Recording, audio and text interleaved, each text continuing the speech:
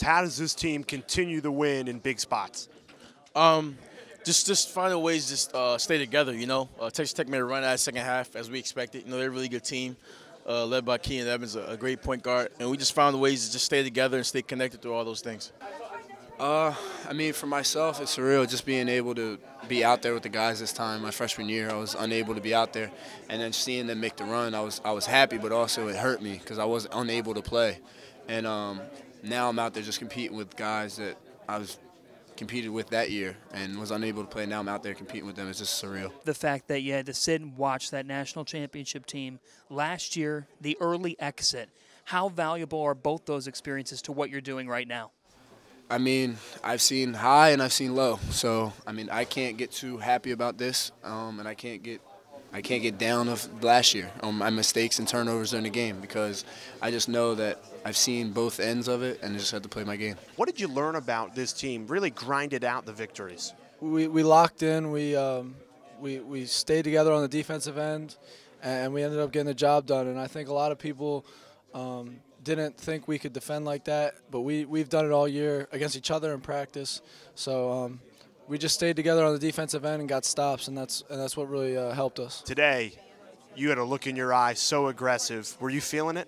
Uh, I just, I mean, I try to do that every day. I mean, I just, I just felt good. I mean, the they have confidence in me. Like, we have a great team, and then Mikal and Jalen, they just, don't, they just don't care about if they make shots or not. I mean, they, they want to do what they want to, what they have to to win, and then if it's not making shots, if it's rebounding, they'll do it. So we, we just have a great team, and I really appreciate this team. So you had a one shining moment type of moment by getting to rip out that net and fly it in front of the fans. Tell me about it. Oh, it was crazy. I was really excited to do it in front of my hometown, and uh, really appreciative of Coach Wright and letting me doing it.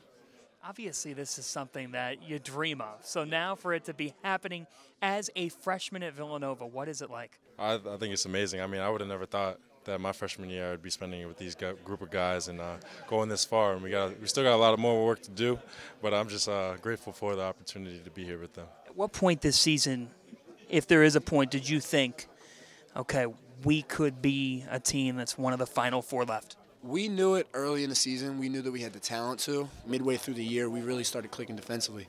And um, when we took a couple losses in the season to great teams, we just kind of go back to practice and just buckle down defensively. And once we got once we got to play as one defensively, then we started to click. What does it mean to be one of the first Wildcats to make two Final Fours wearing a Villanova uniform? It's amazing. Uh, a great legacy of Wildcats that have played here. Uh, great guards that have played this in this uh, in this program under Coach Wright. I'm just uh, blessed to be around some great guys and great teammates I've had these four years here. How do you keep it going? Two wins away from another national championship. no, we'll, we'll rest up, enjoy this one tonight. Uh, we'll get back to work. Uh, I don't know what day is it. Sunday. Sunday. Yeah, we'll get back to work Monday or Tuesday, whenever it is. But we'll enjoy this one just um, just keep doing what we're doing. We just kind of stay together and, and, block out everything. Just worry about the next team in front of us. Phil, it's more than just a win. It's a Final Four for you guys, East Regional champions. Enjoy it with your teammates. Thank you very much. Appreciate it.